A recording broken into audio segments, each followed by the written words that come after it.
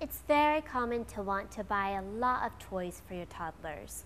This is okay, but keep in mind that they lose their focus very quickly.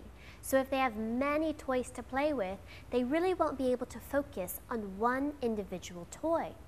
Something like a xylophone is really helpful so that they can develop their musical skills.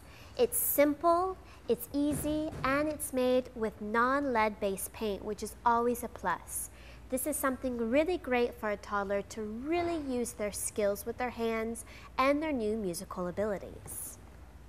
When buying toys for toddlers, keep in mind that they're toddlers now, not necessarily infants.